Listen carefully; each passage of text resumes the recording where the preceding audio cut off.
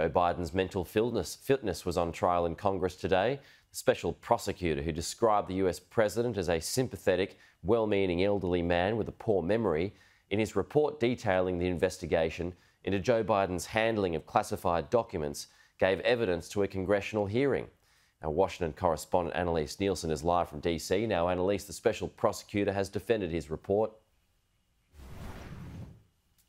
He has indeed. This was an interesting hearing because it goes straight to an issue that's at the heart of the next election. Both sides were playing clips throughout the hearings of not only Joe Biden, but former President Donald Trump, with Democrats trying to make that comparison to say, look, if you think Joe Biden's old and losing his memory, your guy is too. So, not a lot to give much confidence there to the ordinary public, but what we were seeing was some pointed questions around this report. So, you'll remember this was the report done by the special prosecutor, Robert Hur, into the allegations against Joe Biden that he mishandled classified documents when he left office as vice president, similar to what we've seen Donald Trump caught up in. And so, what we've seen today is some pretty pointed questions in this hearing that went for about five hours with questions to the special prosecutor about whether he should have included the descriptions of Joe Biden's memory as being failing.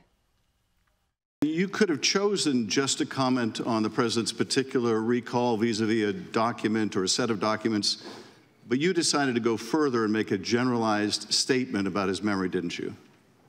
Congressman, I could have written my report theoretically in a way that omitted references to the president's memory, but that would have been an incomplete and improper report.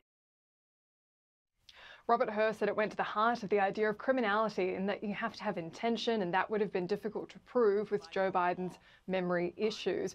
One of the other interesting moments from this hearing was from another Democrat representative who wanted to ask about the case and make the point that Joe Biden was exonerated by this report finding, but Robert Hur disagreed with that.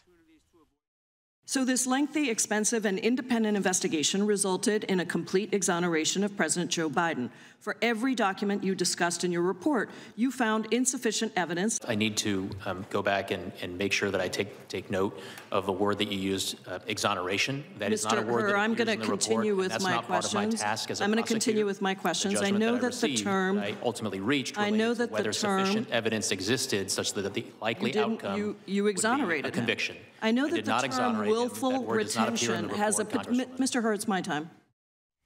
So the representative didn't like that answer. An exoneration is a declaration of innocence, which this report didn't do. They said that they couldn't, on the evidence, proceed with a trial. And so that's quite an important distinction. But this will be at the heart of the election upcoming in November, as Joe Biden is the candidate for the Democrats. Annelise, thank you.